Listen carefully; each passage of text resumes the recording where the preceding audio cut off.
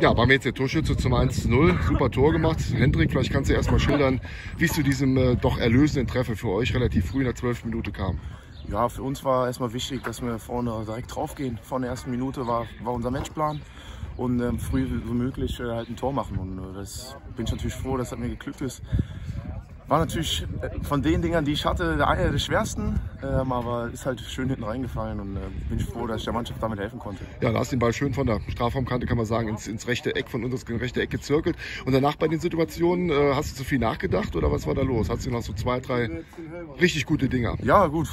Manchmal äh, ist halt so ein Tag, wo du jedes Ding wegmachst. Heute, ja, muss ich weitermachen. Nächstes Spiel kommt wieder und dann äh, treffe ich auch wieder, bin ich mir sicher. Was hat euch der Kalle mit auf den Weg gegeben heute? Äh, was war anders im Vergleich zu, zu sonst? Ja, dass wir einfach den Kopf frei bekommen sollen nach dem Spiel in Appleborn, was ja dann schon sehr, sehr bitter war, muss man ja schon sagen. Ähm, dass wir einfach nochmal Spaß haben sollten und dann äh, heute auch den drei Punkte einfahren sollen, ganz einfach. Jetzt geht es weiter mit zwei Heimspielen, da ist die Devise klar? Auf jeden Fall, müssen wir genauso wie heute nochmal ranklotzen, alles geben und dann ähm, ja, klasse halten, ganz einfach.